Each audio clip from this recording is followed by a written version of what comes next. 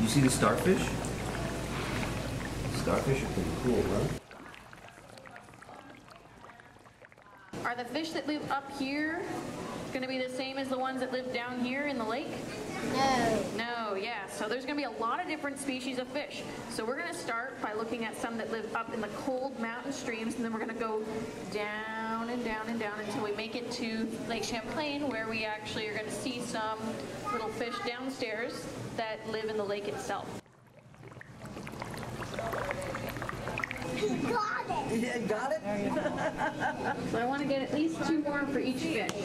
I'm Shannon Kane. I've been working here for a few months full time, and then I was part time for like two years before that. So imagine you've gone downstream a little ways, and you're going to be looking at fish that are found in beaver ponds. I've gotten a huge range of um, different kids' reactions to a bunch of my demos.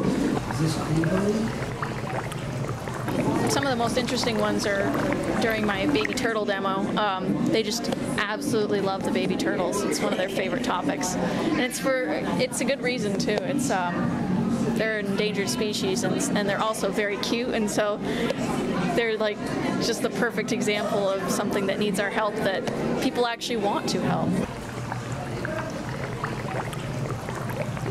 First name Alan, last name Arthur, so I have two first names. Uh, I'm a volunteer here at ECHO, uh, what they call an education volunteer.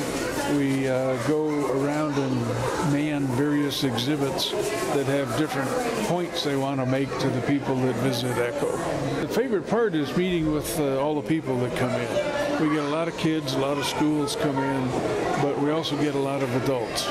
And the adults have one interest level in things, and the kids have a different interest level. And it's interesting to try and meet both of them.